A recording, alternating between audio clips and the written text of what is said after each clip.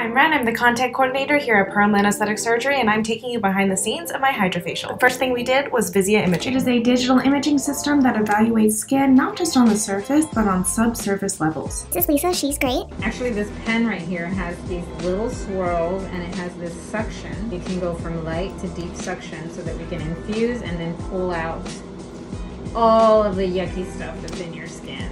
My nose has always been horrible. Show them your nose. Show them your nose.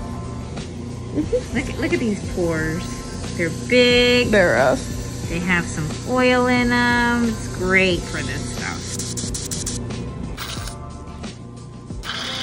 It's like a light suction. It's almost like a gel feeling.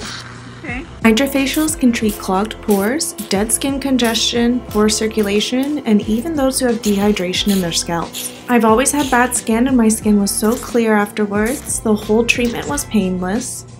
It's a very mild sensation, but I can kind of feel like a little tingling. Yeah, Yeah, especially where it was like bad, like my nose and cheeks. This water started out clear, but all of that was in my skin.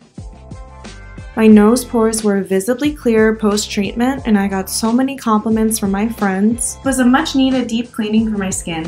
This is all the stuff Lisa pulled from my skin. I am so happy that I got it done.